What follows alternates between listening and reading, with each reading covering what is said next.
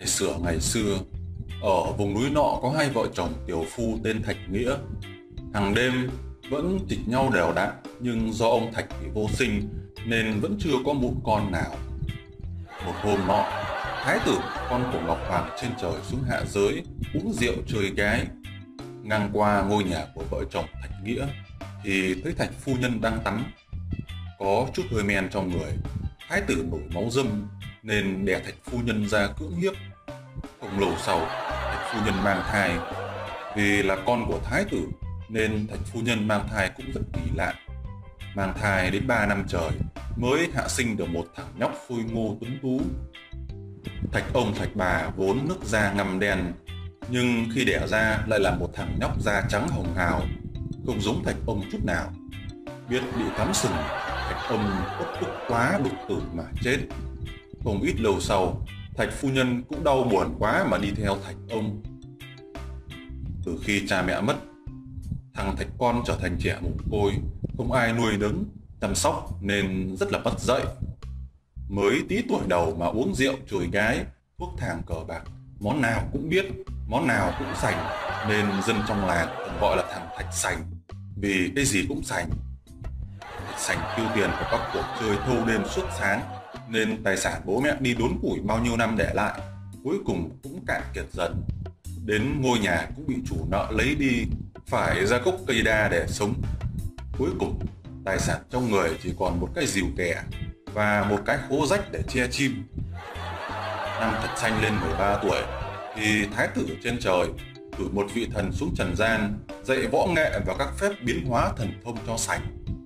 Nhưng sành vốn bản tính ham chơi nên chỉ thích học mấy cái phép tầm bậy tầm bạ như tàng hình hay biến thành con gái. Một hôm, thật sành đi uống rượu chơi gái, gặp một thằng lông bông tên là Lý Thông.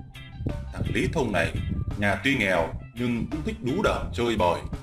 Ngặt nỗi không có tiền nên thường tìm cách chơi chùa. Thông và sạch, vốn kẻ tám nạn người một cân, ngưu tầm ngưu, mã tầm mã, nên sau vài lần uống rượu chơi gái cùng nhau, Thông bèn gạ sạch kết nghĩa huynh đệ, cốt à, để được đi chơi chùa. Sành không biết, còn tưởng Thông thật lòng muốn kết giao nên đồng ý ngay. Vào thời gian đó, trong vùng có một con chăn tinh chuyên bắt người để ăn thịt. Nhà vua đã nhiều lần cử quan quân xuống đánh, nhưng không thể địch nổi nó vì con chăn có quá nhiều phép biến hóa. Về sau, nhà vua thỏa thuận với nó rằng sẽ xây miếu thờ và hàng năm sẽ hiến tế một mạng người cho nó. Đúng vào năm ấy thì tới lượt Lý Thông đi hiến mạng cho chăn tinh. Mẹ con nhà Lý rất lo sợ và không biết phải xoay sở ra sao. Đang bí thì Thông nghĩ ra một kế, đó là cho sành đi thế mạng cho hắn. Nghĩ là làm, Thông liền chạy sang nhà sành rủ tối đi chơi gái. Sành nghe Thông rủ thì thích lắm, nhưng nghĩ thằng này hay đi chơi chùa nên hỏi lại. Thế thằng nào giả tiền? Chú yên tâm, tối nay anh bao, anh mới bán đàn gà xong. Sành nghe thấy được chơi miễn phí thì vội vàng đồng ý. Thế tối nay chơi ở đâu đấy? Tối nay anh có chỗ đặc biệt. Mày ra cái miếu đầu làng đợi anh, rồi anh dẫn mày đi. Đến đêm, Sành đi tới chỗ hẹn nhưng đợi mãi không thấy thằng Thông đâu cả. Thầm chửi thằng Thông lừa mình. Làm đéo có chuyện cái thằng cứt sắt đây bao mình đi chơi gái chứ. Bỗng nhiên, từ đâu xuất hiện một con chăn to bằng cái cột đình lao ra cuốn chặt lấy Sành. Sành bị con chăn cuốn lấy thì sợ đáy cả da máu. Nghĩ lại, được thần tiên dạy võ nghệ nhưng hàm trời đéo chịu học thì ân hận vô cùng.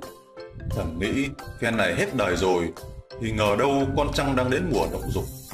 Không hiểu nó nhìn thế nào mà tưởng sành là con chặt cái, bèn đè sành ra đất, từ từ cởi cái khố nhỏ rồi bắt đầu thông át sành. Thì khổ cho sành bị con chăn thông. Từ tối đến sáng, rồi lại đến tối ngày hôm sau. Lỗ ác nhỏ này đã to bằng cái bát tô. Có mấy hòn chỉ cũng bị con chăn mải nhẫn con mẹ nó rồi. Con chăn sau khi thỏa mãn thì lao lực làm vật ra đất hấp hối. Sành thấy vậy thì cố lết cái thân ra cắt đầu con chăn sành lết cái thân về đến nhà thông thì trời đã sáng. Chửi mãi mẹ con thằng thông mới chịu ra mở cửa sành kể lại đầu đuôi câu chuyện. Thằng thông nhìn cái đít của sành thì không khỏi kiếp vía thầm nghĩ, nếu đêm đấy nó đến sẽ như thế nào đây? Không hiểu liệu có còn mạng để về nữa không. Không thấy sành giết được chăn tinh thì nảy ra kế cấp công của sành, bèn nói, ui, to rồi, con chăn này là báu vật của nhà vua đấy.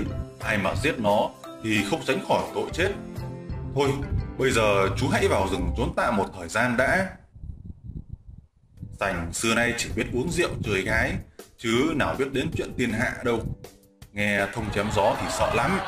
Vội vội vàng vàng ôm đít bỏ chạy vào rừng sâu. Phần thông, sau khi lừa được sành thì sung sướng lắm. Hắn mang đầu quan chăn đến cho nhà vua và được vua phong thưởng ban tước trở thành đại quan trong triều. Cũng nhân dịp diệt trừ được con chăn, nhà vua mở hội kén chồng cho công chúa quỳnh nga. Nàng công chúa này từ nhỏ đã được nuông chiều. Hay ăn chơi đàn đúm hút hít, nên kén chồng hơn chục lần rồi mà vẫn chưa ai chịu lấy cả.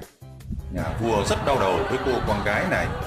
Một hôm, đang quẩy sung thì công chúa bỗng nhiên bị một con đại bàng rất to xà xuống cấp đi mất. Thạch sành lúc này đang quay tay ở trong rừng, thì thấy một con đại bàng gái bay qua, đã lâu chưa được nháy nào, lại nhìn thấy gái nên máu dâm nổi lên trong người sành vội vàng chạy theo con đại bàng. Lần đến hang con đại bàng, sành đua dây xuống tìm công chúa. Biết chưa thể thịt công chúa ngay, sành đưa cho công chúa ít cần bảo công chúa gạ con đại bàng hít. Hẹn đến tối sẽ đưa công chúa ra ngoài. Đêm đến, sành y lời hứa, leo xuống hang tìm công chúa lần nữa. Nhưng xuống đến nơi thì thấy cả hang khói mù, khói mịt. Còn công chúa và con đại bàng thì đang thác loạn cùng nhau sau khi thác loạn ba ngày ba đêm, con đại bàng mệt quá mà vật ra chết, sành đưa công chúa trở về cung và kể hết mọi việc. Cuối cùng, sành cũng biết thằng thông lừa mình, nhưng nghĩ nó cũng phận đi chơi chùa nên tha cho về quê. Ở đâu đi về giữa đường thì bị xét đánh chết, từ đó sành sống hạnh phúc công chúa.